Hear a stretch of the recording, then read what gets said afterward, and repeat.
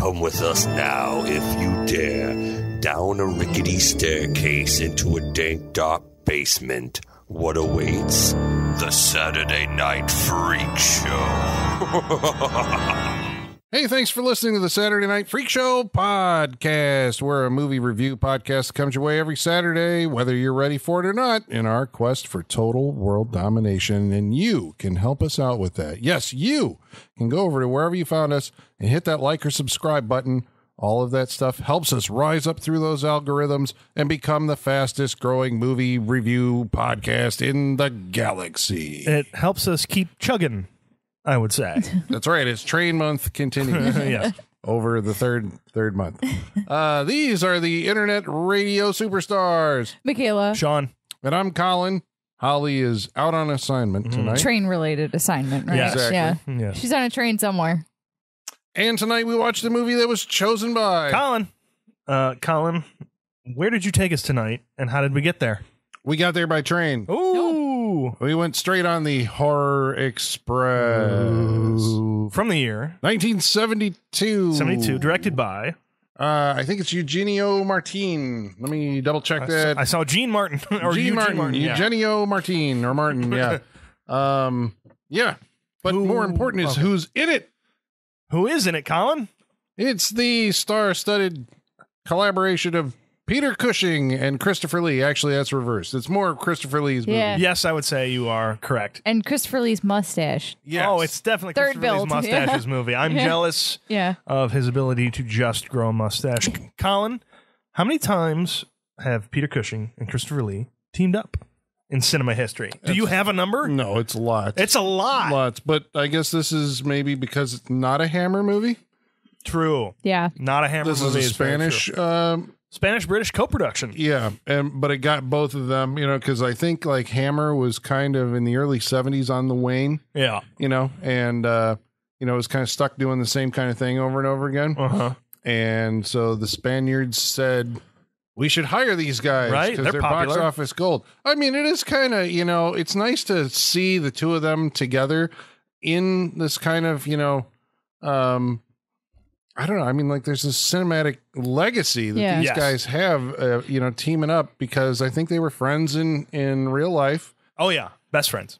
because they did, you know, all these horror films together. I mean, primarily horror Mm-hmm. Primarily, films. I mean, they did stuff outside of the genre, but we all know them from like all these team ups where they just seem to end up in the same movies together. Mm-hmm. I lean over to Colin in the middle of this. I'm like, these two must have had the greatest time filming this movie, considering they are uh, good friends and were for their. you Well, know, I careers like and seeing them on the same side too and not against It each is other. nice, It's right? nice when I they mean, team up. They are kind of rivals in this, but they are together, which is nice. Yeah. Well, it seems like, um, well, okay, I guess to your first point, I guess uh, they were very good friends. Yes.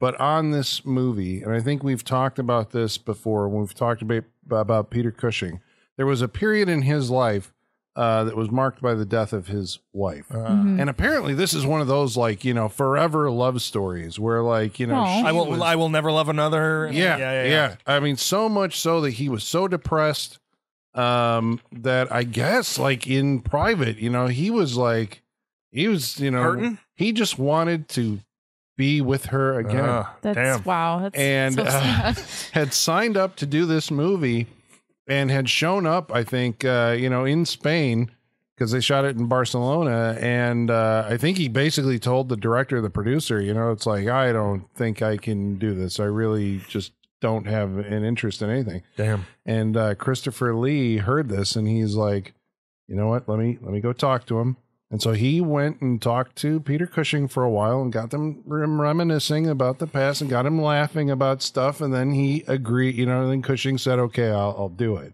Well, so it's like Peter or Christopher Lee kept Peter Cushing alive. I love that. I I love mean, the little that's- bromance story behind is- these two. That- now that's a friendship. Yeah. Yes, that was, that's good. And can you imagine what it was like for both of them to watch their careers grow over time too? Like getting to see Peter Cushing be in Star Wars and then getting to see Christopher Lee being in mm-hmm. Lord of the Rings, you know? Like and Star Wars. And in Star Star Wars. Wars, yeah, and Right. Star Wars, yeah. I And think like that was what was like kind of you know like when when Lucas did those you know the prequels and he put Christopher Lee Yeah. in it. There was this kind of like you know fanboy excitement, at least for me, knowing Yeah. that like oh you got them both Right. You know, I get that now. I didn't before because I didn't know the history of well, the two. and but- like it, I don't feel like it this it means as much nowadays, but back then, like it was like, oh, you made it. You you got into something big and mainstream that will live longer than you. You know, mm-hmm. like that must just be a great feeling. Christopher Lee obviously must have known it by the time Yeah. he did his. Oh, yeah. I Right. don't know if, if Cushing knew it right? when he did Star Wars. Oh, yeah. yeah. you know, but I mean, that gave Yeah. him a because what he lived until I believe it was like ninety four or something like that. You know, uh, so obviously he got to live with you know seeing what Star Wars became. Mhm. True. Um, Right. He didn't get. I thank God he didn't see any more of it because Yeah. Because I often some of the choices they made, especially relating to him, were questionable. Right, they brought Yeah. him back. He Yeah, that to, was yeah, difficult. Yeah. in, Yeah. A, in, a, in a future Yeah. movie.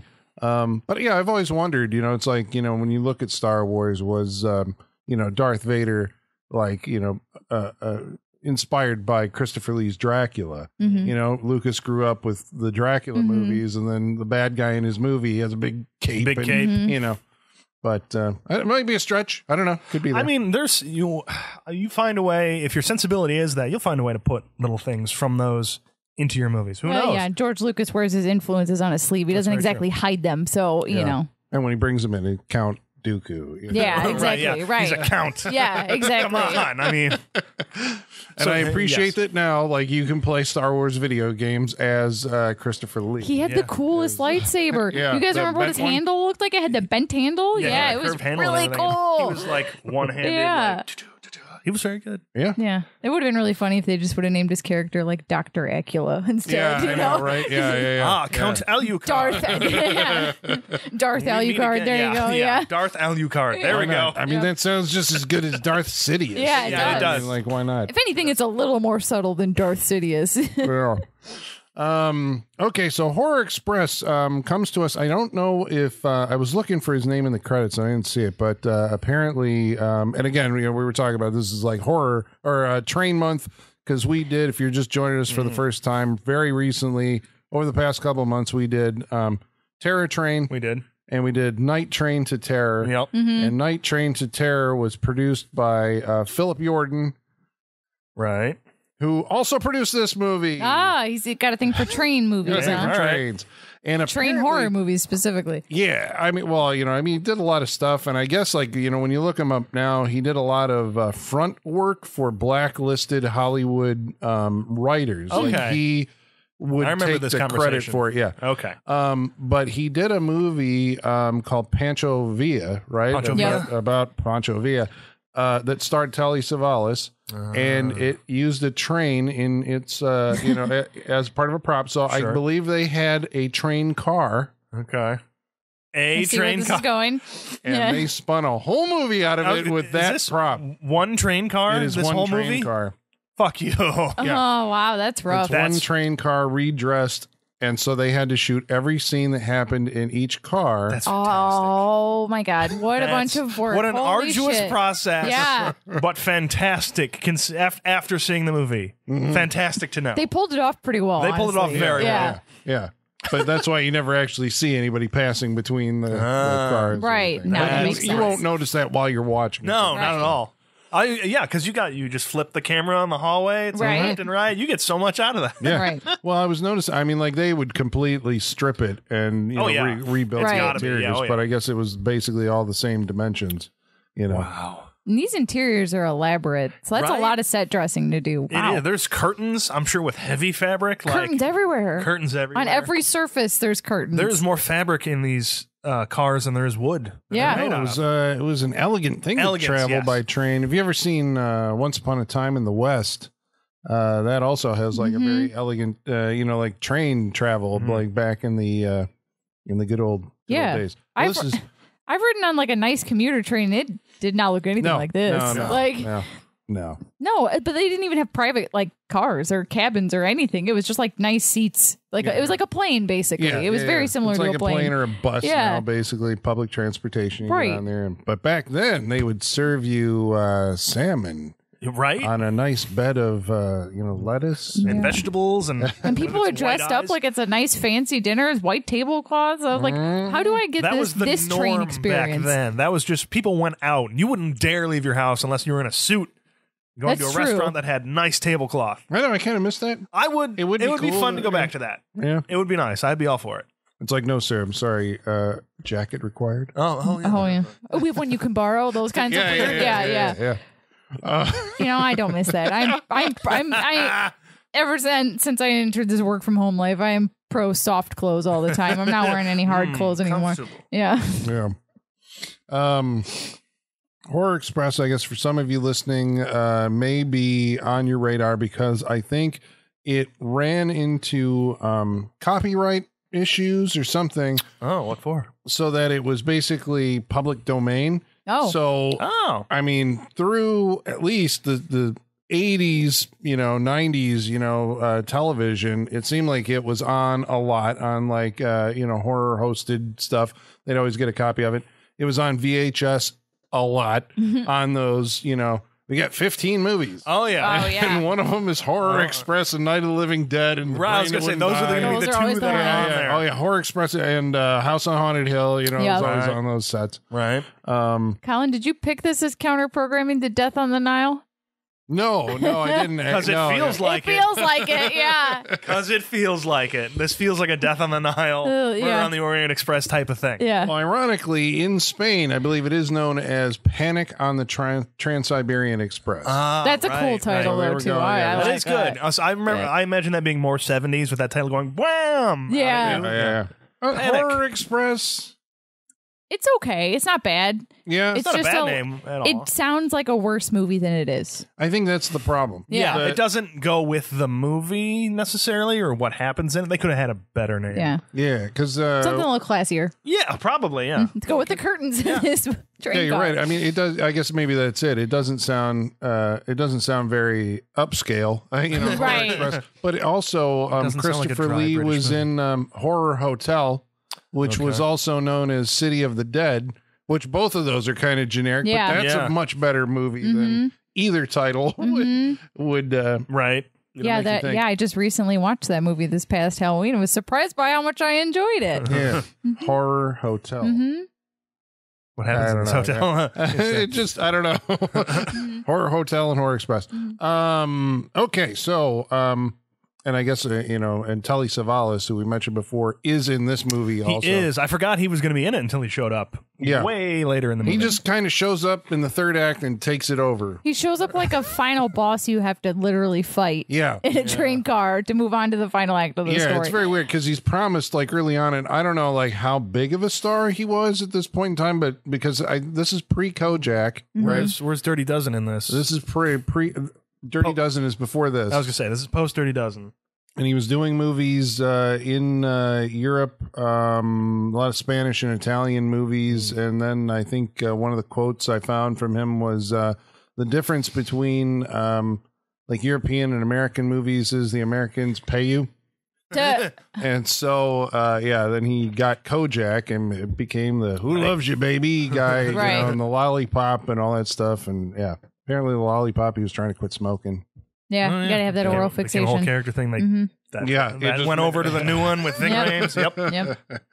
Um, okay, so this movie, uh, I guess, uh, for those of you who don't know what it is, and it's like it, it kind of sells itself as a horror movie.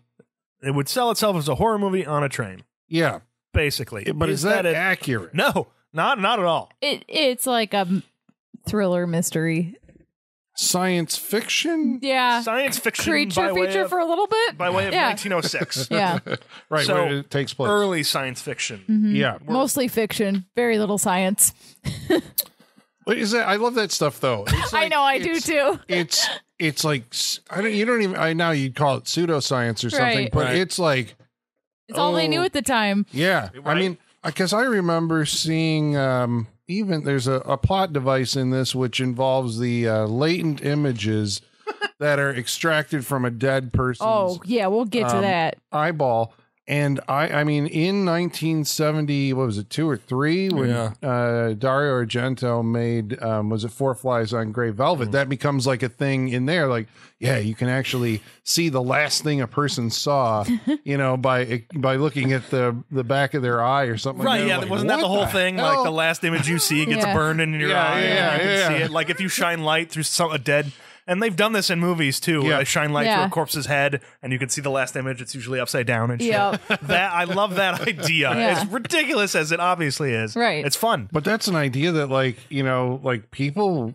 I don't know if they. You could talk me believed into it. but yeah, I guess it just seemed like it was an accepted. The thing. fear burns Yeah, it into your yeah. retina. Yeah. yes. I mean, like, sure, why not? Life is random and nothing matters. That's entirely possible, you know? It's very weird. So a lot of pseudoscience in this movie, but um, but fun when it's delivered in such a dry manner from Christopher Lee and Peter Cushing. Yeah. This is such a it's a very dry British movie. it is. And I love that about this. yeah. I told five minutes and I'm like, I can't wait for them to figure this all out in their very dry British way. Yeah. I was so looking forward to it. It's so buttoned up. It is it's, so buttoned but, up. Yeah. It's like monsters were British. yeah, that's Yeah. really good joke. That's great. Yeah. That's the, that should be the log line for this movie. Right? Could be you, us. We're British. Um, perish the thought. Yes. Um, okay, well, the, so the movie opens in um, Sichuan, China. It does. Because This was when the Brits still ruled China, right? Didn't they rule for like a long I time? think they ruled China. They had right. They had. Uh, well, they had Taiwan. Okay, this. You I'm know what? sorry. We're not here for Yeah. they're not here for history lesson. We I thought China was under empire Well, I rule mean- for a long time. I'm going to check. England has invaded nearly every corner of the earth at this point and had territories and colonies pretty much everywhere. They used to have that saying the sun never sets on the British flag That's because right, they have yeah. so many colonies. So True. they've had some sort of input and influence at some point. at I'm some sure. point. and they're definitely so. Uh, Christopher Lee is, um, and I'm not even sure of like his station in in society, but he's often referred to as Your Excellency. hmm Um, and he is leading an expedition into like the Himalayas or something. Um, no, sorry, wherever the yeah, they, they're going into the mountains Yep. to find uh, a fo- so where they they found they've discovered a fossil, Mhm. right? Which is a uh, like ape man, the missing link. Yes, kind of- basically Yes. the missing link is Yeah. what they think they've discovered. So he is ape-ish. Which I think he's like, how many horror movies do we have to watch with people fucking with something frozen and it you Right, know, don't it do it. bites them in the ass. Yeah, you just don't, don't you do don't it. do it. Don't do it. Would, uh, do you guys remember? Was it like maybe a decade or more ago when they had found that woolly mammoth completely preserved in Right. ice in Canada, and they were going to try and like, Like, we use can stem clone cells it. to bring, yeah, bring it back. I was like, no, don't, yeah, yeah, no, don't. Yeah, Yeah, yeah, yeah. No, If I the mean- movies have taught us anything. I even mean- Jurassic Park said don't do this. I mean, do it just because I want to see the woolly mammoth get loose and Yeah. you know go down the street. You know, if that's how the world ends, that'd be a pretty exciting way for it to stuff. that take would be, off. I so mean, that'd be interesting. It wouldn't you be know? dull. yeah, Um, uh, uh, the British Empire controlled Hong Kong until Hong 1997. Kong. God Gotcha. damn it. And I Right. know Yep, yep, that yep, yep, yep. because of the movie Rush Hour. don't say we didn't teach you anything, Yeah. right? That's right. Oh my God, I apologize. Everybody's out there like, what? You got your geography? Just like, punching their okay, steering okay. wheel. Yeah, we're Yeah. not the best in history. Yeah. We pieced it together through movies, so that's Right. what we got. Yeah, We got to pack a lot of other stuff in there. Yeah. Um. Okay. So uh, anyway, he finds this fossil and then boxes it up in a crate Yes. and is going to transport this back to presumably England via the Trans Siberian Express. And this is where the movie kind of like gets all of our characters together and uh to get them on this train. Although it does have um like it kind of gives like this scale of production there by having this scene that takes place at the train station Right, right there on the Mhm. steps. which is very bustling, full of you know uh, people coming here and there, and you know smoke and all. It's Yes. got a good. So you're like, oh, even though the rest of the movie is going to be confined on this, you know, as we know right. now, There are people in this. Like there it's not just like four characters and we don't see anybody else. Like there's people hanging around and stuff. You know? Yeah. Doesn't feel as cheap as I guess it could. Right. Yeah, I know. That's why like it. It's not bad, and there's they use a lot of model work, A lot. Yes. which I got to tell you, the first time I saw it, well, okay, maybe it did. You know, like eventually you're looking at it going like, is that a model train? Okay, so it works for me because that is what I was doing. I'm like, is okay, Yeah. that's a model. Is that one a model? Like yeah. I couldn't tell, although it does give you plenty of opportunity to figure it out. Yeah. Yeah. Because we cut back to this literally every other 10 seconds. In or between something every like that. scene, In between every scene, sometimes within a scene based on, I think they do it to amp up, they're using it to ramp up the action that's happening in the scene. Mm-hmm. It's an odd thing, but I don't know, it We see it in a lot of weather conditions. You know, there's Yeah. uh, snow, you know, snow blasted daytime, nighttime. You know, I mean, we see it a lot. And I, I- I, I'm wondering if like what sells it is like you actually shoot a model outdoors instead of on a on a you know set, and somehow that reads is more like realistic or something. These are know. like Night of the Lepus style models. Yeah. yeah, They're that good. yeah, well, yeah, yeah, yeah. I mean, hey, they were good in that movie. I was Yeah. I know. I know. Yeah, yeah. But yeah, because then you're like, we're still trying to figure out because they did get some shots of an actual train. We know this because one of the first shots in the movie is you can see the shadow of the camera people Yeah. as they get a whip shot of the train Yeah. and then take the camera off the tripod. Yep. So are there, some, there are some real trains in this, but a lot of model work. Well, we're introduced to all of our characters, um, but there's um, first of all uh, an incident which happens on the, the platform, and this is a Chinese uh, thief Yes. who is known to the police tries to uh, thinks it's something of value in, inside the uh, the box, and he tries to uh, you know uh, safe crack it Yep. and or pick the lock, and he ends up dead with whited out eyes. Bleeding, Yes. slightly bleeding. Yeah. in Mhm. His eyes and his mouth. Mhm. It's the same for every person this happens to. But I know, yes, creepy.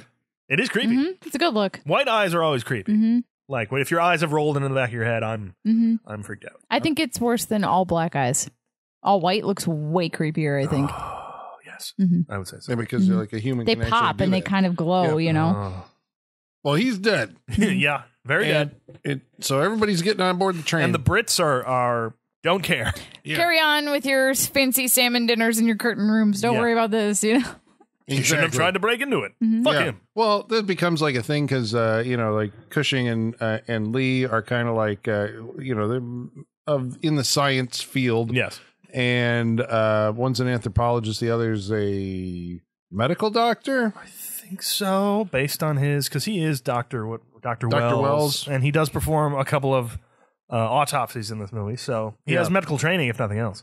Yeah, but there's some kind. I wonder if what Doctor Wells is uh, H H G Well. I mean, like who It knows? has to be right. as some kind of nod to sci-fi. But um, so the weird, so we get to we're introduced to like a bunch of characters. There's um a Russian priest who looks like Rasputin, Yes, Yes. very much.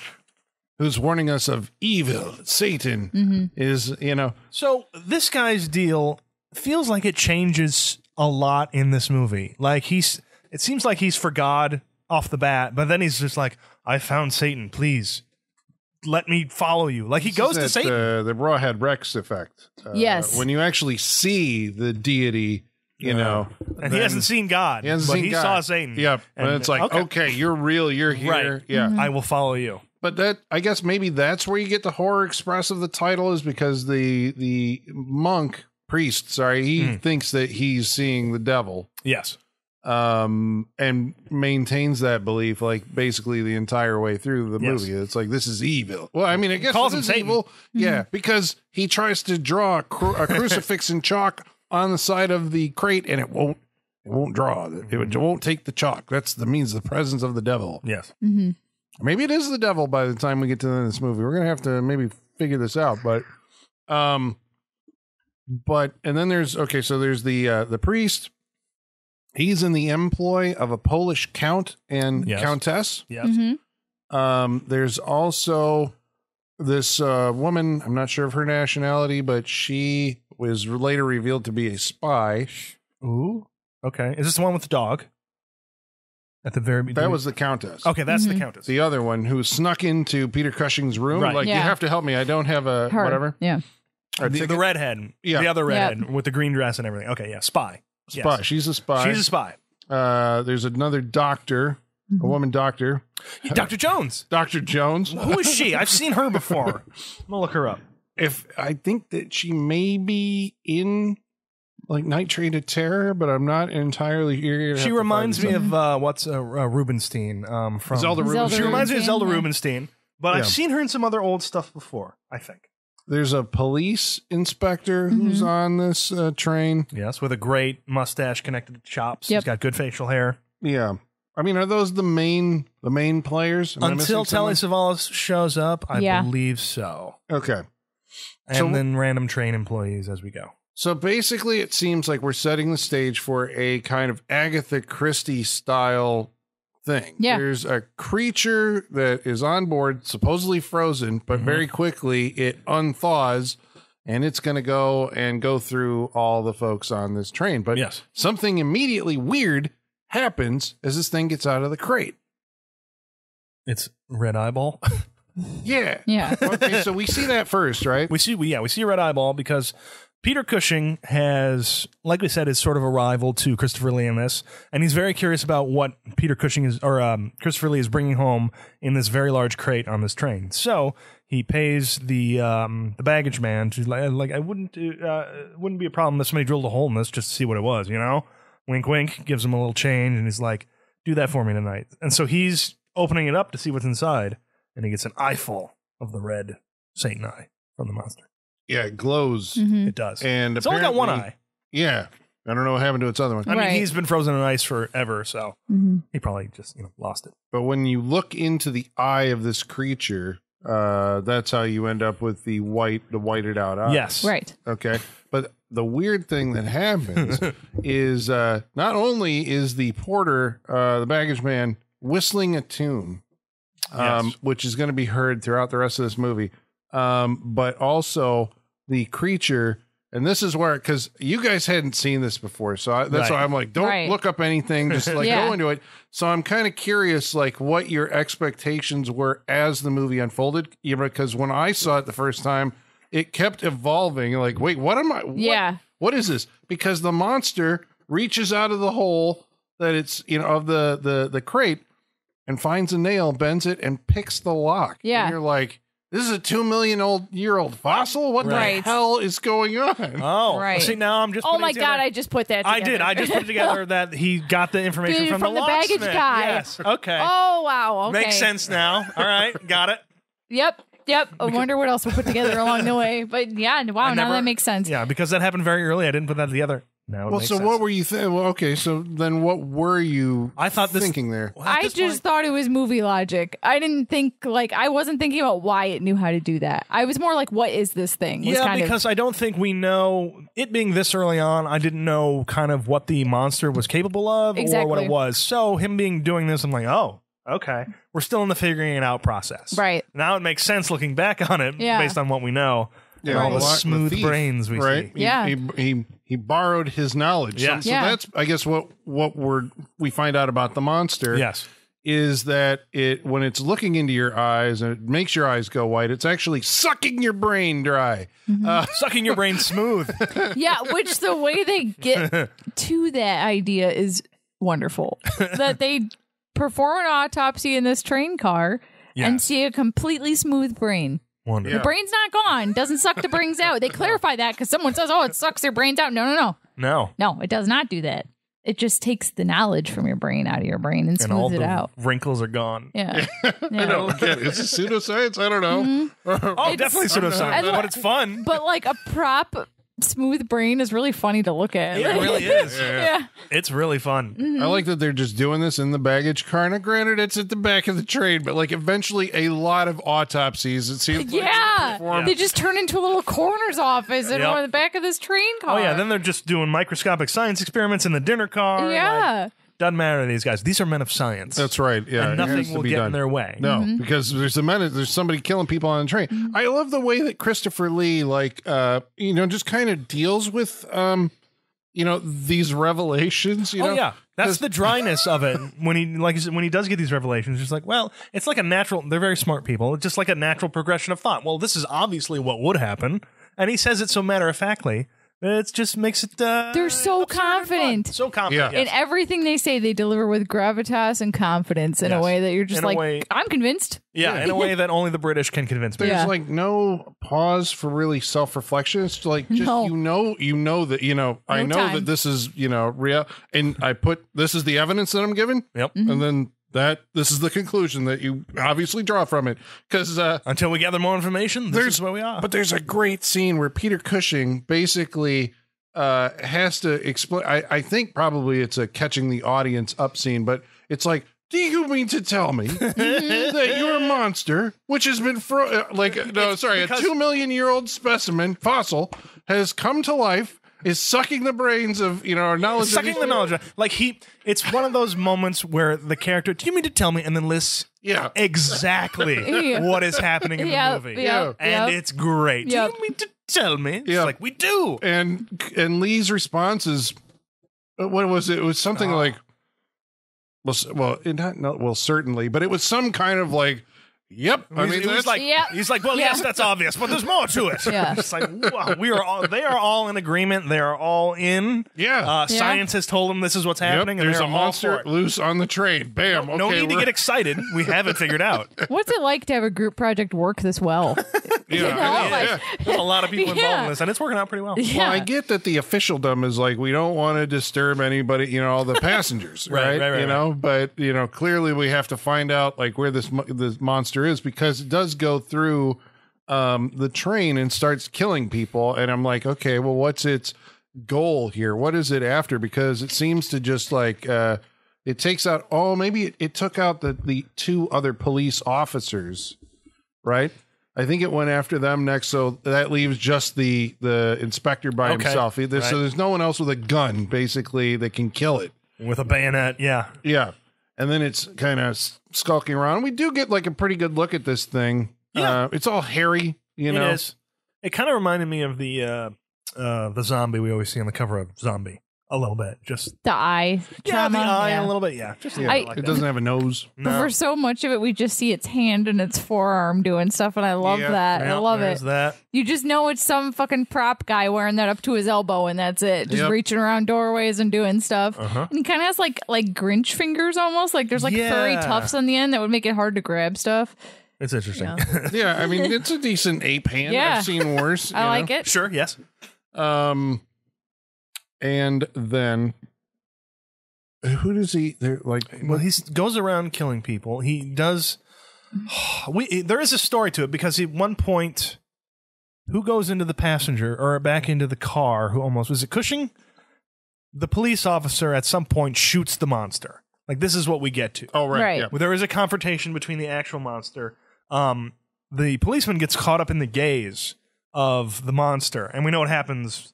You know, if you get caught up in his but gaze, it doesn't boil his eyes. It doesn't. He ends up We up. know that they're boiled because of the fish that was Right, served. yeah. It's like, And they're its like- eyes are white. They're like Because it was bulging boiled. and coming out of the head Yeah. a little bit too in a way that's kind of gross. Yeah. Um, but so he gets caught up in it, but he's able to shoot the monster before he gets fully Yeah. uh, wide eyed. Does this thing have only have a short range? Like it can't do it from that distance. It Maybe. needs to be Like, he within couldn't like do it from four across the feet. train. yeah. We learn later, and I wonder if this, uh, if we go back and look at it, like he's standing in a lighted area. Okay. And later we find out that the monster's eyes, you can only see the glow. It only works. He can only do Right. this in the dark because Right. he's always well, going that's a around big turning the lights disadvantage. out Yeah. in order to This put is- you under the. Whammy. Why didn't This he is cut the the Terror power? Train. Yeah. This monster was on Terror Train. Yeah. That's why all those lights are fucking off. Yeah, there Well, you go. He does cut the power at one point, but it only turns off like the back half of the train. Yeah. Right. like yeah. that. Yeah. Because this is one of those escalating horror movies Right. where things are going to get more and more out of control as things go on. Right. Yes. But yeah, okay, so they shoot and kill the monster after he has also killed the uh the spy Dr. Jones. Wait, no, he killed the spy. and he kills Dr. And Jones. he kills Dr. Jones.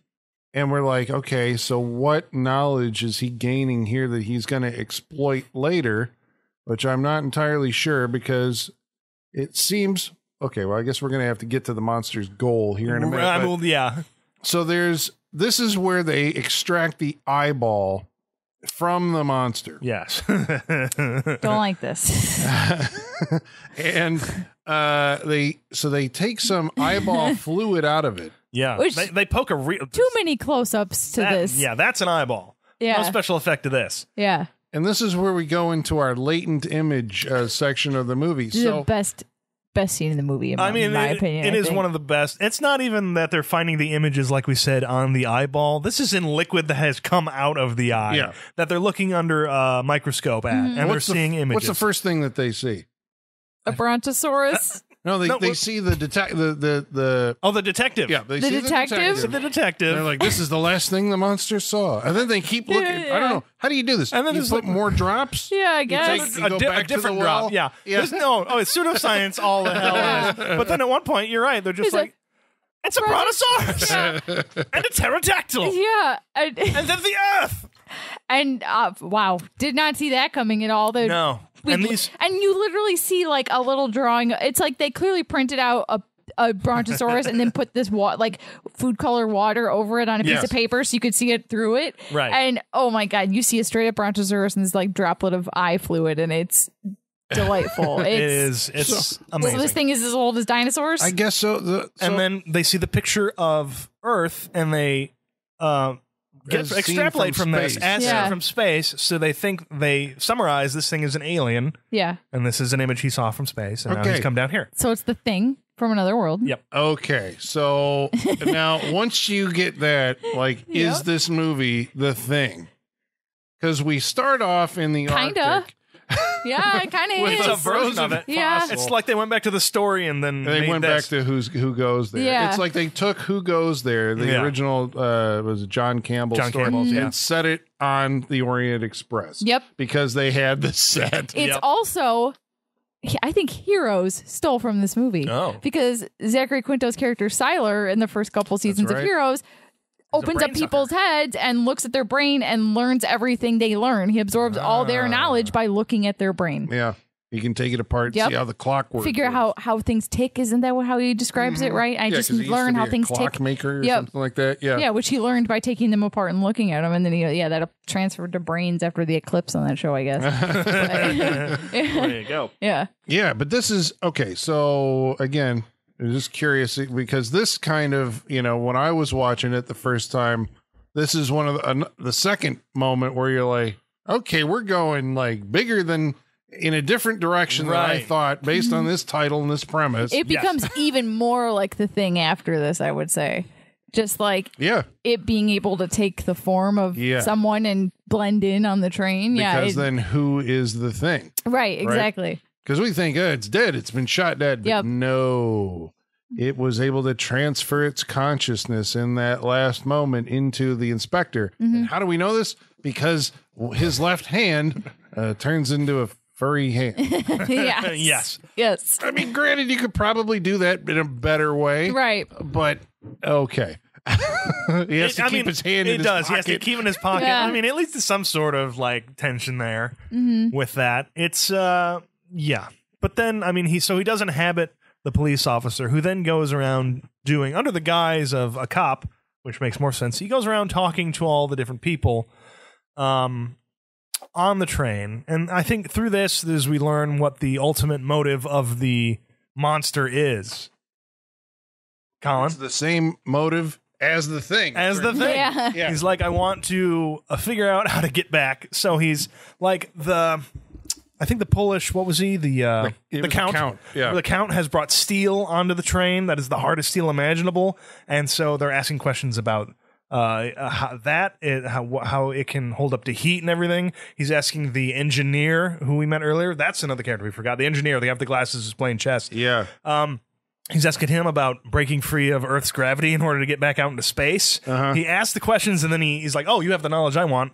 Give me your brain." Yeah, that he just takes the brain. This is like fascinating, you know, because Yeah. it's like you're like, okay, we got like an alien thing walking around, you know, and it takes possession of people, but because it has absorbed the knowledge of the the the, the, the people that it's you know uh, that it's killing, yeah, it then knows how to behave as a human. Yes. Right. So, I mean, to you, it would appear just as like a person, kind of like, I guess, the thing, right? Right, like, yeah. it knows exactly, you know, there's no like, how does this work or anything like that. It knows it. Yeah. Because it absorbed you or your consciousness. yeah. This isn't a comedy of any sort where he's trying to figure out how to work a body. Yeah. No. this isn't Men in Black. right. Yeah. Yeah. Yeah. Um, the, um, the priest still maintains Oh, yeah. that this is the, the devil because even when he is presented with the evidence of, um, the, uh, shot, uh, the latent image of the earth as seen from space. Yes. He says, well, that's Lucifer. Mhm. You know, Lucifer, before he was thrown out of heaven, had a view of the earth, uh, you know, from this. And I think actually, you know, when, when Christopher Lee's like, there's a scientific explanation, he's like, well, what is it? And Christopher Lee's like, well, I don't have it yet. he's like, aha, because it's, you know, it's the devil. Right. He the makes absence a, of the explanation means the devil. but I guess that's where his character makes that kind of switch. You know, uh, who we were talking about earlier. He witnesses the creature killing Dr. Jones, Yeah. and then he's like, I will serve you, master. You know, who are you? You know, it's like, I will I mean, for all I do know- your bidding. It Right? If becomes aliens came down now, I might do the same thing and be like, "You're obviously real. What can I do for you?" Yeah, because, well, usually you say that's like maybe a survival thing. Don't Sure. kill me, right? Sure. Uh, let me, uh, I'll serve you. But Think of it as uh, what's his name from the Mummy movie with Brendan Fraser. Um, Mm-hmm. uh, what's his name? It's not Billy, is it? Uh, I don't know. I the, can't the know. annoying Brendan character. Fraser yelling it, but I can't remember Right. what. Yeah. Yeah. Oh fuck! I remember his name. Eddie. Eddie. No. Damn it. But whatever. Okay, I know, whatever. The guy But in the that turban. character. Yeah. Yes. He's like, I'll do whatever you want. He he finds the master who's the strongest at the time, and will Yeah. serve them. Yes. So there's enough people have been killed, and I think the um, because I'm like, who notifies Beni. Sorry. Beni? it is Beni. There you go. You got it. Sorry, it's Beni. Okay. Um, so anyway, the train because it's suffering from all these dead people, and somebody must say, send word, Yes, that the ahead. devil is on board, right? Yes. We have to send a telegram ahead that the devil is on board, uh, and I think they that they want to stop the train at this next station. They wanted to switch the rails because the way the rail they want to switch it to goes off a cliff. Well, first before that, we haven't even gotten to Telly Savalas yet. Yeah, that's Telly where- Savalas yeah. has got to get on the train. Yeah, So I think that's they send a telegram ahead to his station. yeah. Okay, But And- that's why when he when the the the telegram guy was um, reading it off, I don't remember it, but the way that, that Savalas reacted was like, you know, even the devil must be afraid of one good Cossack or something Yeah. like that. So he's like this power mad Russian, uh, you know, police guy who Yeah. apparently or army. I don't know what the, it, but he outranks everyone on the train. and he dresses like it too. yeah, yeah. This And- big like fur Red. Uh, red like long coat Yes. with no shirt underneath it. Oh no. Yeah, well, because he's in bed with you know some girl when Yeah. he gets this like you got to go to work.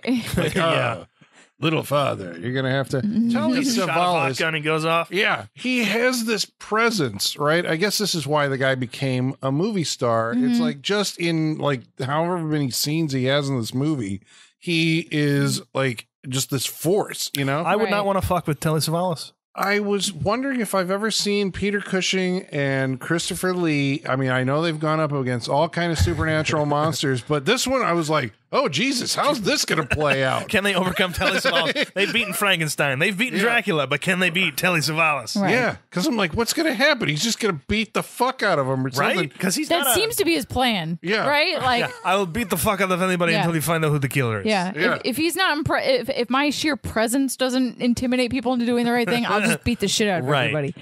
yeah. Because he doesn't he does he beat up the priest? Oh, we whips him. Yeah, he whips him a bunch. Yeah.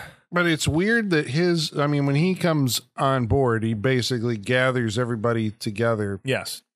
and is like, you know, there's a killer on One board. of you is the murderer, and you will not leave this room. You're all under arrest, you know? Uh, and I think, what was it? No, the, the, the police inspector said he was prepared to shoot everybody on the train until he actually finds out, like, who the killer is. Right, right. Uh, Telly Savalas is, like, apparently like, the next step up from that. And, um, well, I, and the, the way that Lee and uh, and and Cushing react to him are like, what what is this nonsense? What Yeah. is this you know rubbish rubbish that's that's happening? There's obviously an explanation for this. He's like, "Tsh." like, Yeah, he has them hit. yeah, he does. Yeah, yeah, yeah. Because they're just they're British science nerds to him at this point. He's like, uh, I'm in charge. Yeah. And he smokes that cigarette by basically putting his whole hand over his mouth. Yeah, and then he Right. moves it in the different directions as he's smoking it. Like that's an actor. How See, many things can you do with a cigarette? I don't know, you know, his uh uh you know history or any backstory or anything like that. He comes off like I'm like, is he drunk when he's playing this line in this part, or is he just like just a larger than life I think he's larger than life. guy? 'Cause he Is he, does that. ad libbing? I don't know, but man, he's like freewheeling. It feels like in this. uh You Yeah. know, I'm just walking in here and I'm taking this fucking movie over. I'm- Yeah. I'm, going to dominate every single person on this train. Yep.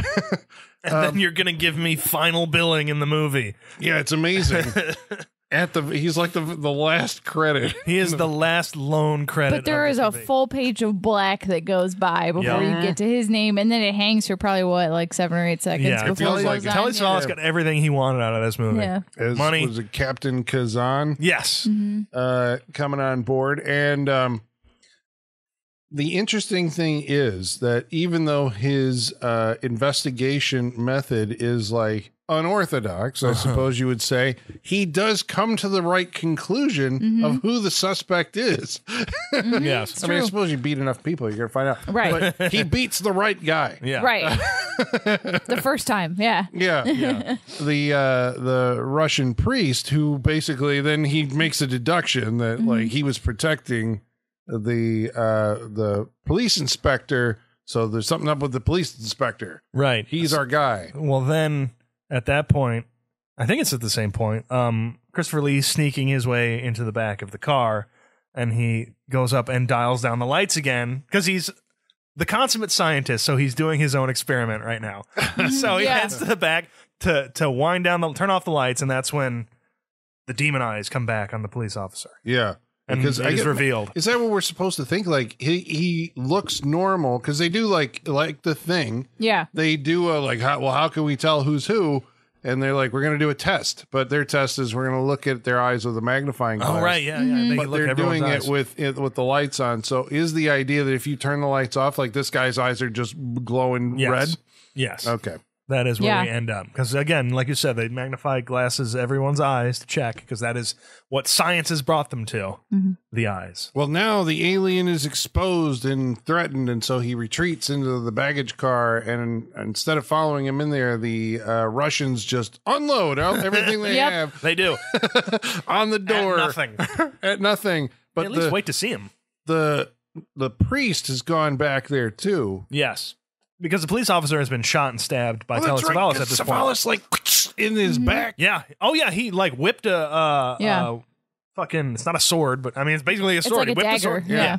into his back and shot him a couple times. Again, I, I like that. Like, you know, Savalas comes in. Well, I guess you know he says that he's a religious man or whatever. So you know he is kind of predisposed to believe in the in evil. Right. But it's like as soon as he sees it, it's like I'm going to stab that fucking thing. Yeah. I'm going Right. to shoot it. You know, it's like there's Oh, yeah. no no question. No fucking around. Just action. You know. I I can see what I can see, and that Yeah. guy has red Bam. devil he's eyes. The dead, he's the devil. yeah. Um. So but he's very injured. the uh, and this is pre-exorcist right? The uh, priest says to the the the creature come into me. Yeah. you know you're dying uh willingly uh, you know take me over. And so the creature does take the the priest over. Now that now priest is uh is the monster. Yes. and um i believe then he does go and get his goal which is the polish count who knows about the the chemical makeup or whatever composition He the of metal the steel Yep, the steel. that he, the creature's going to use to build his spaceship to get off Earth. And at this point, Sean's like, does this movie end with like the creation of the space program? Right, right. Oh my Like, god. this is just one long build up to Yeah. NASA. Yeah. Like this is a NASA like propaganda movie. Yeah. NASA, cr- the aliens created our way to get into space. That would Yeah. And when you said that, I'm like, oh shit, that would be a good way for It this would. movie to go. it would be a great way. Like seventy years later, or whatever Yeah. we get into, it's just like 1969, and it's like fucking the priest who's got a haircut and a, a shave and everything going Yeah. up to space. Yeah, right. He finally gets the, the he made them build the ship Yep. for him, so He got then he there. hijacks it, or he just takes the dude over the captain. Yeah, that know? would be great. Yeah, you see red glowing eyes as they launch into space, and then credits. Well, this uh, this is also, I guess, when when the creature doesn't feel um, that threatened, then because he's basically killed all of his, you know, anybody who's. Oh yeah, there's that scene He where he kills goes everybody. through all the the. Um, this is the malignant scene. Yeah, and this is what we're going to call these scenes Yeah. from now on. Mhm. These are the malignant scenes where he just goes ape shit and kills everyone in a room. hmm So Yeah. all the soldiers who were shooting and Telly Savalas end up dead at this point. yeah. So there's just corpses everywhere, Yeah. Yep. wide-eyed corpses littering this uh, train car. Yep. And so then no foes left to attack him except for Christopher Lee, who's like, as long as I show shine a light in his face, he can't actually zap me. Right. And so there's a confrontation there that becomes like a dialogue scene, which is, I guess, the final ultimate um, it's the alien talking. Yes. Right.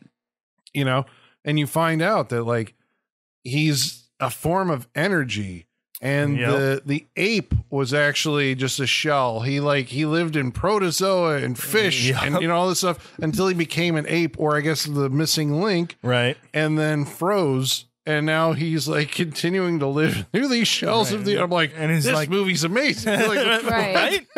hell? For 1972 you Yeah. know? And you're like is this like was this going on? Is this like a i mean was doctor who doing this kind of stuff?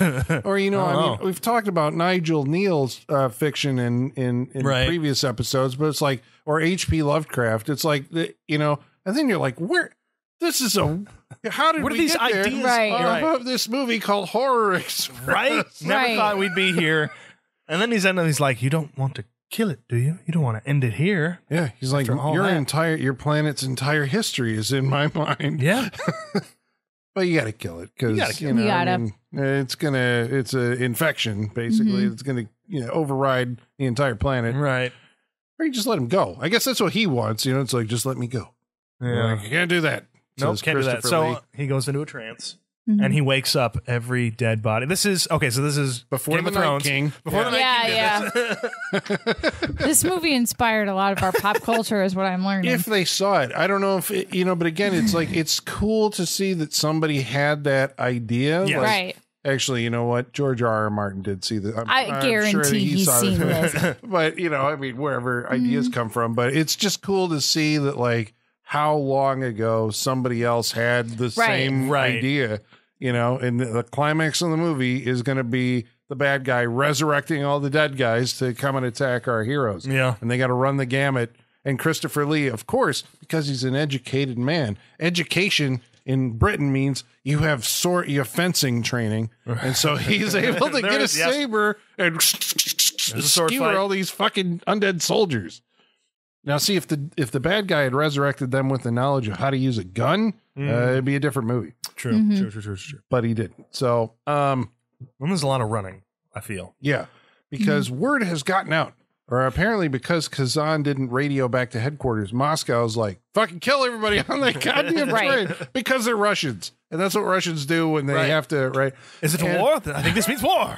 Yeah, they immediately assume it's some sort of war tactic. it's a war against space, my friend. Yeah. We're getting the orders. We can do it. Uh, so, I mean, I guess you would. Okay. So I got nothing against It's- those but guys. it's just a funny there. thing. It's like it just says switch the track, but everyone will die. It's like, oh, okay. maybe there's a war. So they turn the uh, the tracks. So the uh, train's gonna go right off a fucking cliff, right? Meanwhile, uh, Peter Cushing uh, is trying to. He's gathered everyone into the last train of the car, and this is when uh, Christopher Lee shows up as well, and they together decide. Um, they know they obviously know that the track is going to be switched, or or they they are just trying to disengage themselves so they are not connected to the train and Satan anymore. Yeah. that's all they want. I think Yeah. that's it, right? Because Yes. It's that classic Western move of just pull the pegs out of the connectors to the train cars, Right. and we'll separate ourselves. So right. Yeah, just so wh- the train is still going. But I guess the question is, why did they do that? If they don't know that the train is going to be like going off a cliff. I well, that's what I was saying. I think they just want to be disconnected so they're not. is with it him because anymore. Yeah. well because he the alien uh, priest dude he takes control of the the train. Maybe that's it. He makes his way to the front. yeah, he does. He does. Yeah, Oh, yeah, he's 'cause he's driving, driving it. it. Yeah, He's driving it, and so they're like, "Okay, fine. The only thing we got to do to keep everybody safe is just Disconnect. Un- Yeah. disconnect. Right. But I guess in their thinking, then it's like they don't know that it's going to die. They are just like, we have to save ourselves, right. Yeah. And disconnect, and the monster is going to keep on going, and for all we know, get away. Right. Mm-hmm. I think that is their plan. Yeah. Yeah. But And they don't on- know that the Russians have planned for the thing to go over the cliff. Yeah, it just goes. you ever had train tracks? This is some Looney Tunes shit too. Yeah. Yeah. train tracks that just dead end on a cliff. Yeah, Right. Like, well, yeah, we have plans to build this bridge at some I think point. that's, Yeah. yeah, right. Yeah. Maybe they everybody's seen enough Just- westerns by then to Right. just assume Oh yeah, it's there's gotta a go bridge Over. coming soon.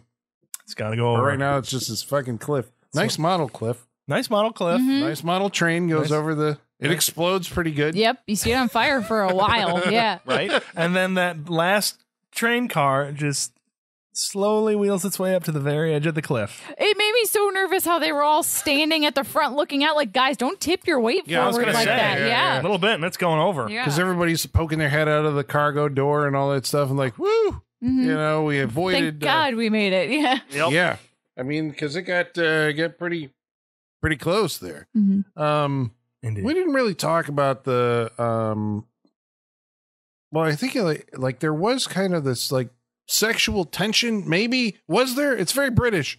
Um, Eh, it didn't matter. between the well because the uh the spy Yeah. like uh just kind of she integrates herself into the guys She does. uh, yeah because they, they're sharing the same room and she's like i'm just gonna come in here because you gotta hide me or yeah, whatever she's trying to get away. and then peter uh christopher lee may have something going with the countess Maybe. but that Maybe. also doesn't go anywhere Yeah. okay so you're saying that doesn't matter It doesn't. But let me ask you Uh-oh. this Now Colin pulls out his wild card. Okay. Does Telly Savalas matter to the movie? Not Could really. you take him and Oh. his forces out of his forces Yeah. his- out of the movie? Oh yeah, Yeah. I, that's actually where the movie started to lose me a little bit, if yeah. I'm That's being it. honest. Felt like a real big detour once we got to Telly Yeah. Savalas. yeah. It's just like, oh, we stopped. We Mhm. literally stopped, so he, this character could get onto our movie. Right. Yeah. Yeah. So- what does he contribute? What does him or his, I mean his being in the movie? Um, I know that obviously he brings zombies for Right. A body count is all he really contributes. Yes. Yeah. right a final threat, but right. other than that, you know, ultimately nothing. But I mean, I still enjoy those scenes so Yes. much. But Yeah. it's like plot wise, it does feel like we injected this just to get an extra bit of runtime. It slows the pace a little bit. Yeah. It does, yes. It does slow it down. But again, like you said, I like those scenes. I like him. He's doing wild stuff, so Mm-hmm. Right. yeah. not entirely bothered by it. but there we go. Well, there you go. Horror, Horror Express. Express. Yeah. Now we're pull- we've we've pulled into the station. It's not on the edge of now, a cliff. right? So, and it's yeah. now time to unload our thoughts. Yeah. Okay. Well, we will tell you uh, whether or Or maybe our- I'll just steal yours, Colin. Oh, Uh-huh. oh Oh, shit. yeah. There we go. That's right. We got to keep the lights on. Well, we're going to tell you what we thought I of will Horror suck your brain smooth.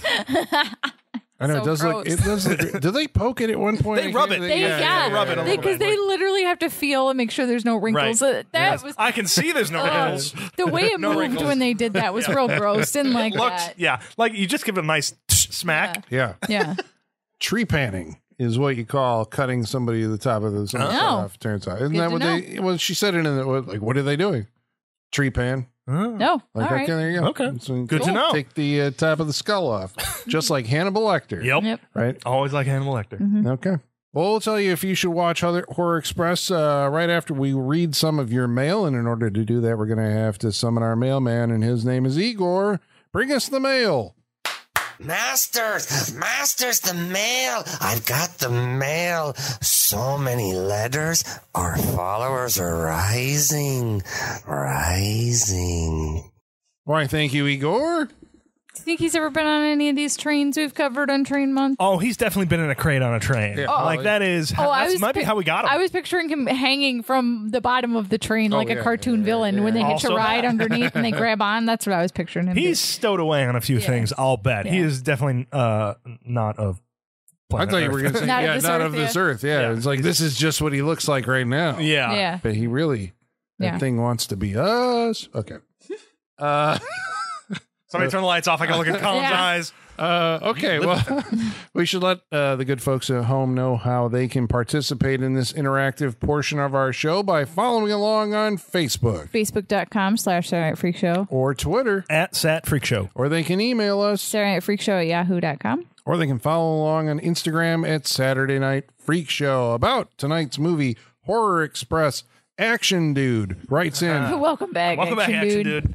Well, he says you can't go wrong with Cushing and Lee. They were the Jay and Silent Bob of horror, or Jay and Silent Bob, the Cushing and Lee of stoner anxious comedies in the 90s. Yes, that's the correct version. That's. How do you feel about that, That's that's that's who we should have. How do you feel about that Well, comparison? I yeah, I don't know. I mean, I was like, what would be the because they're not like a comedy duo, No. although they are kind of funny in this movie. That's I guess the thing. This movie actually does have some humor. I like that this is funny for them. Yeah, this like this is- is as far as they went to being funny. yeah, You're- I think that's dry right. You're right. They they had fun Oh, doing yeah. this Yeah. because it it kind of you know it has that kind of lightness of tone. Yes. Um, Andrew Paulson Kirk says, I didn't find this movie as fun as Terror Train. It could be because I prefer slashers to monsters, or maybe I'm just under David Copperfield's spell. I think that's it. If you prefer Terror Train to any other movie, it's because of David Copperfield. Yeah. It's Clearly. the only reason. Yeah. Well, He had the same look in your eyes type thing Yeah. as this movie. Yeah, and I also The feel like he whammy. was He- sucking the knowledge out of He my would brain. have preferred to be on this train because all those people would have been a captive audience for him. They would That's have loved true. that. While you're all hearing this last, Yeah. nothing up my sleeves. yeah. or a Cooter Hollister Jr. What? All right. Love it. Oh, Love so there's love a it, there's love an elder cooter. That's good to it. know. Cooter Senior. Well, say hello Yeah. to the elder cooter for me. yes, please do. Cooter says it's such a fun, solid movie. It, yep, It- yep. yeah, There you yeah. go. Uh, Teresa Ann says Shudder's Creep Show series heavily featured this movie in an episode in season two. Really? Okay, so you guys haven't seen this. I actually did see Interesting. that. Justin Long is a guy who develops virtual reality stuff, and one of the things he develops is a headset. I think it's like a whole body thing. You got to lay in it that transports you into a movie, Uh-huh. and it's horror express. I mean, like the whole episode That's cool. is like him interacting with Christopher Lee and all the characters and Peter Cushing, but they recast. I think it's the Countess because he has like a relationship with the Countess, and then his real life girlfriend finds out that he's getting in this thing, and Hmm. Shit, I gotta watch this episode. I don't care if it's good or bad. I gotta I- watch this episode. Everyone tells me not to watch the Creep Show Yes. TV series, but every time it gets brought up in this show, I want to watch it because it sounds interesting. Well, hey, uh, you, may be the one they're making it for. Yeah, I definitely want to watch me. that episode, You know? though. It's and it's going on like what a fourth season now I or think something. so. That's why I'm like, was yeah. that season two or season three? I don't know, but yeah, I'll I mean, find it. basically, yeah, That's it's, it's the one with Justin Long in it. So there Okay, you go. that's Um, fun.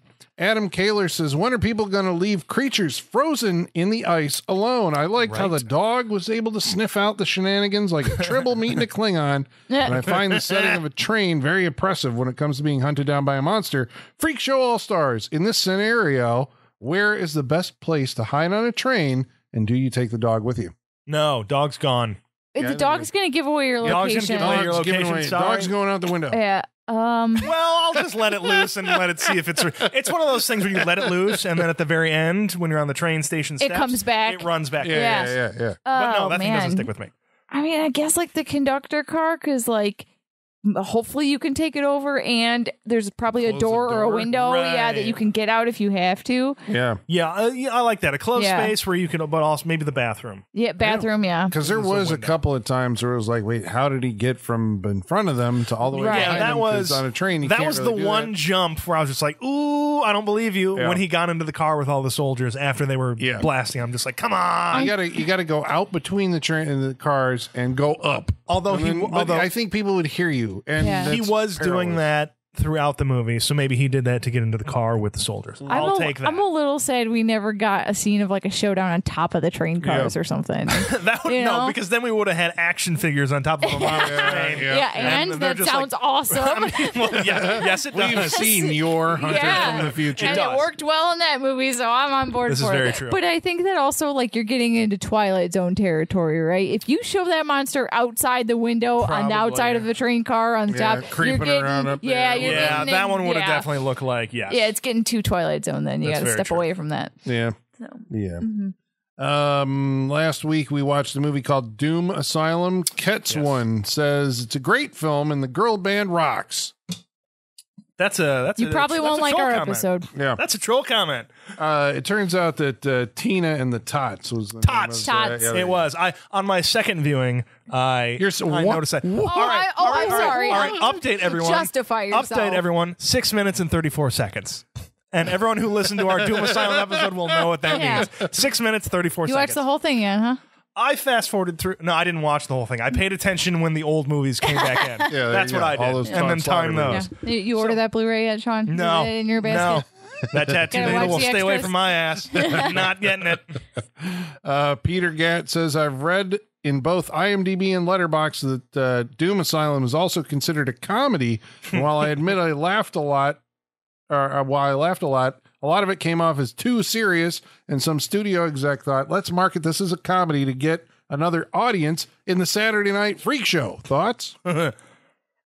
Yeah. It's possible. Yeah. I mean, Anything's probably. possible with yeah. that movie, I think. I think it was deliberately a comedy. I It's think I written as a think parts comedy. were, but there were parts that were unintentionally funny too. That's also true. You know, Yeah. And it's a little bit of both. But it Again- has a tone where it's like it's not. Mm-hmm. I don't think it's serious.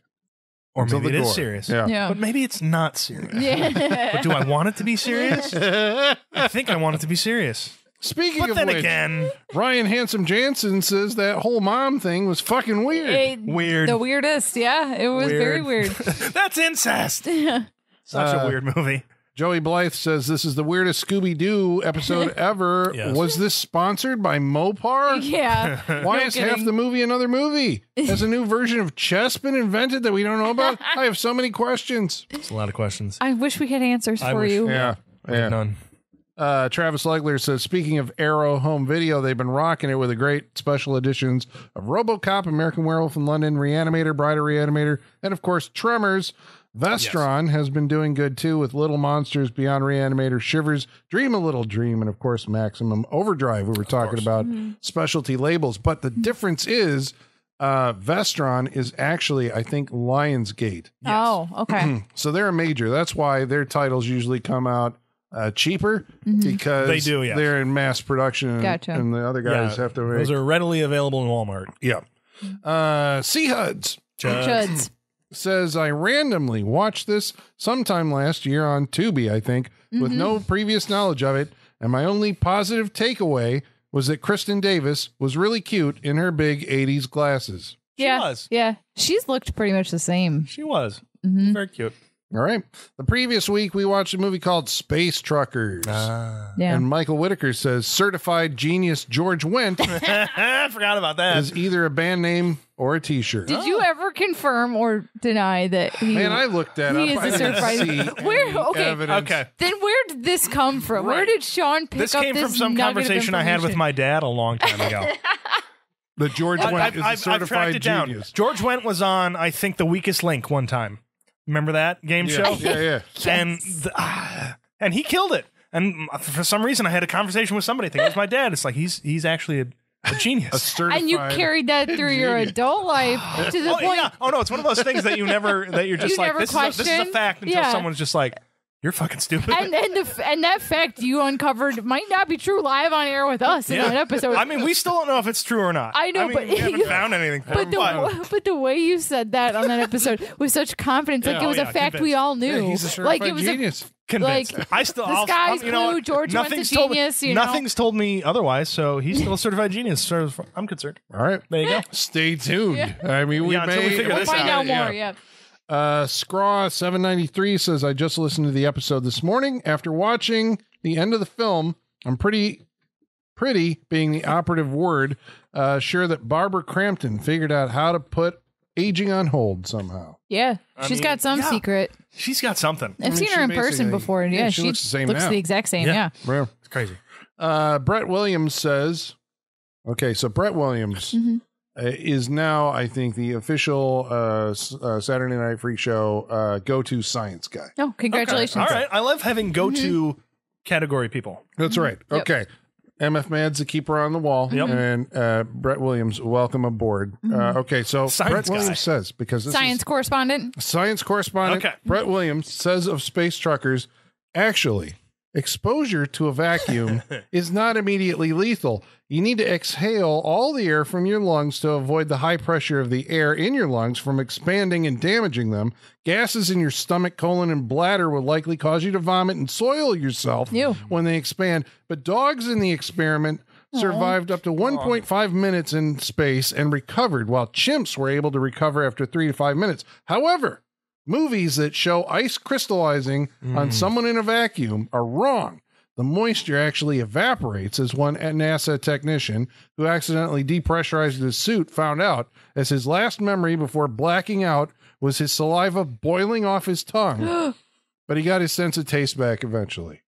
Jesus. I have a new thing to worry about. now. Oh, that yeah, that's a nightmare to wake up from. Well, honestly, I have, like I have It space probably, anxiety. It probably like- sounds like pop rocks on your tongue. That's what it sounds like when your saliva boils. Yeah. Oh. Oh, dude, I have space anxiety. I think about all the time, like people that go to space and then come back to normal life. That's wild to me. Yeah, yeah, like yeah. I can totally understand how you go. I understand space madness. You go up into space, you see our known universe from space. That's got to break your brain a little Uh, bit, yeah. right? Then you come back down, you go back to your normal life, you go to your local Starbucks, and the lady in front of you is yelling at the barista, and you're like, I've been through space. I've been to fucking space. You Your look so problems small are right insignificant. Yeah. exactly. Like that just has to be the biggest shock you could experience as a human being, right? It's got to like, be weird. Yeah. But the upside Not is for me. The Can't human mind, the human mind can actually adapt to that. It's Yeah. the other, I guess, Yeah. great thing about Right.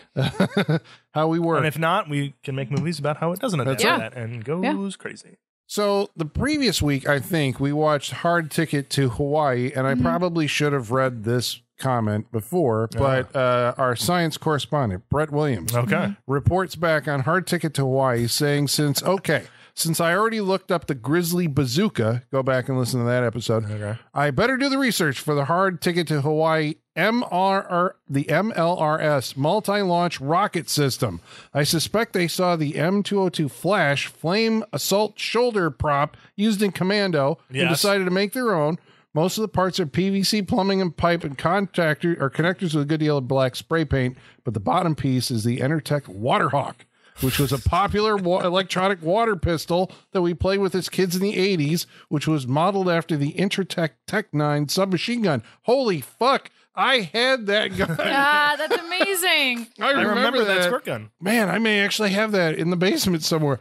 Uh, anyway, he says uh, this is totally something kids would would have built ourselves back then, and apparently they were using actual fireworks as rockets coming out of it, according to the Internet Movie Database. Nice. Very nice. A- And he says that's a great resource for identifying all the props from shoot 'em up movies. So there you go. The rocket launcher. Thank you for your segment. The science report. Yep. Yeah. Wow. Such Now we knowledgeable know. fans. Yeah.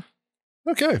Well, uh, thank you all of you for Yes. writing in. We Mm-hmm. greatly appreciate it. I mean, our minds are expanded, and uh, you know, we learn new Yeah. things. Uh, I I feel like week. I looked into someone's eyes and just took all their knowledge right into my brain just now. Thank you. So, Wow, what a segue that is! So, Michaela, what did you think about tonight's movie, Horror Express? You know, Colin, I'm not gonna lie, I have my doubts that we're going back to trains this quickly. I did too. I was like, he's got something up his sleeve. There's got to be something with this. It's not just trains. Um, the title, I was like, hmm, it's, a little, it's a little generic. I don't know. Yeah. I don't know about that. Um, I definitely expected more of like a Hammer type movie for sure.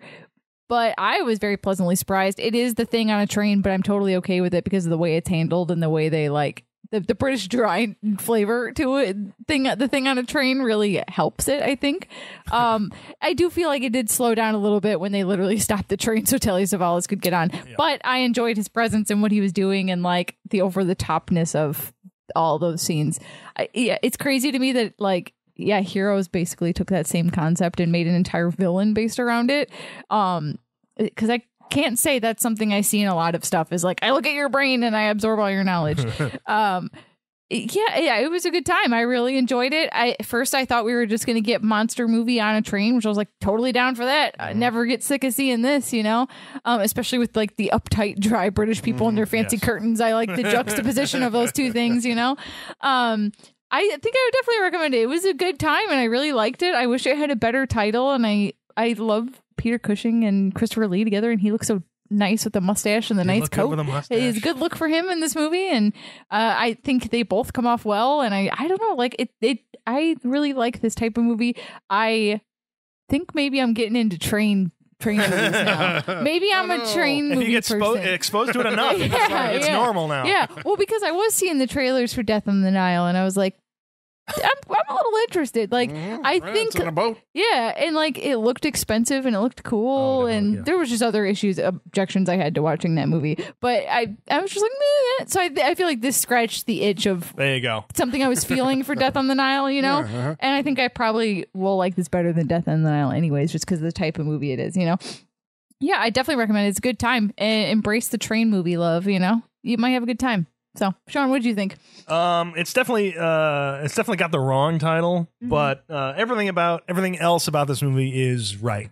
Um, what a fun little, uh, uh, what a fun dry British treat this movie is. Yeah. Um, definitely not what I expected, and I love that about uh, any movie that I watch. It's um, it goes places I never thought it was going to go, which is great. Again, like you said, Monster on a Train. That's fun. Uh, we've got um, I almost call him Christopher Reeve, Christopher Lee, uh, and Peter Cushing, who again just feel like they're having a good time making this movie. I like seeing them have fun, and I think they had a lot of fun making this. Um, I think everyone's bringing it in this. The idea is just the idea is fun. The it's a good time. I, I was surprised at how much fun I had with this movie. I you know I laughed a lot. It is very dry and British, but that's the best thing about it. I was very excited to watch them science their way through this movie. Um, and it is um, uh, the thing on a train, but that's great. Uh, this movie's a lot of fun. Um, yeah, don't let that uh, uh, that title dissuade you from anything or think that it is generic or what have you. Um, you're getting uh, something really fun and good with this movie. So yeah, I definitely recommend it. I so want to go watch the Creep Show episode right now. Yeah. Um, yeah, I'm all in for that. So yeah, this was a good time. You should definitely watch it. Colin. Yeah, I mean, I think that is the biggest deficit to the movie is the title, you know, because I think for years, and I think, you know, I also, you know, when you see a movie that's on a 20 pack of movies, Yeah. you're like, well, You dismiss it a little bit, yeah. It Right. can't be all that good. And so that's why I kind of like the fact that Arrow has uh, resurrected it. You know, I think Severin may have put out a version of it prior to that. So, you know, it is kind of, it feels like coming back and finally getting like, and now, you know, Creep Show uh, bought it apparently or whatever and I- like to use all the footage from it. That's great. Um, but I like. I think you know we've talked about this before on you know uh, Prince of Darkness or, or Quatermass movie. I like. I like these movies that are kind of like uh, we're going to take a supernatural phenomena and then explain it by scientific means. Uh, because I think you know even the guy's speech, the alien at the end when he's in the possessed uh, monk, is basically like you know I came here with others but I was left here by accident. So he basically is like the Martian, uh, sciencing the shit out of it to try and figure out how we can get back Right. off the planet. He's the good guy, is what you're saying. You're Yeah. shifting the perspective. Okay. right. Um, but yeah, I mean, it has the. It, I guess it doesn't feel like a Hammer movie. Like this maybe should have been the stuff that Hammer moved into instead Right. of like to the Devil a Daughter, or even though I like it, uh, the uh, Legend of the Seven Golden Vampires are on you know the Yeah, same they should time. have pivoted to stuff like this. Yeah, yeah. But uh, it, but I, I like having I like those guys. I like having them all together. Adding Telly Savalas is like a volatile, uh, you know, injection into the middle of uh, both Yes. the movie and you know the Christopher Lee Peter Cushing uh, partnership. Um, yeah, I thought it was like accomplished. It- you know, it um, the model work is solid. It seemed like it had the budget to actually pull off like what it, you know the the script. The script I thought was good. It had you know these uh, uh far. It kept evolving. Yes. Um, but I do think, you know, as a criticism, it's like, well, we see a lot of white eyes and bleeding, you know, I, uh, you know, and uh, a lot of uh, autopsies, Yeah. a lot of bodies stack up, and those. So it does kind of feel like, okay, we're, we I saw this already. Yeah. I never got tired of it though. Okay, Like, we well, were- Yeah, it we worked on a for me. pace- It worked for me. We were on a pace. Telly Savalas is the only thing that slowed this down. Everything else I thought was like, I agree. We're going. We're good. Liked it. I, was mean, with it. I mean, I would definitely. I guess it was one of those things that you know when I revisited it and saw it, you know, cleaned up, and I'm like, man, this really is like a good movie. And then I was like, well, I got to at some point bring this to the Saturday Night Freak Show. So I've had this one like on the, in the hopper for a while. Ah. Okay. and I'm like, eventually I'm going to get to it, you know. And then we started doing train movies. and I'm like. Well, it seems like the next logical step is, you know, well, this is the last one I got. But uh, so there you go. Uh, you should definitely check out Horror Express Yes. or Panic on the Trans Siberian Express if you're in Spain. But if, apparently, it, if you nasty. that's where it didn't do well. Like, Oh, it yeah? did, it That's a did well bummer. everywhere else in the world, but not in the director's home country. He was really bummed Interesting. at the time. But uh, okay, all right. Well, that's uh, that's it. That's Freak Show approved, and that means that you have to watch it. Those Yes. are the rules. Those are the rules. Um, so it. next week we're gonna watch a movie that's chosen by. Sean, what are we watching next week? Uh, next week, uh, we will be taking a trip to the big city. We will be watching New York Ninja. Oh shit! All right, I don't know anything about this, but that sounds Keep it like a that way. Cannon movie.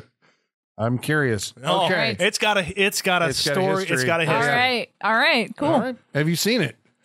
I've watched everything else but the movie. Okay. All right. Okay. All right. Well, that's next week. all the on- behind the scenes stuff and all that. I watched it all, All the bonus but the movie. I'm features, yeah, saving sure. the movie for us. That's right. And right now is like the time to strike on that one. I think so, There's uh, enthusiasm Yes. for it. So, uh, New York Ninja next week on Saturday Night Freak Show. We hope you'll join us. And until then, ladies and germs, the basement is going dark.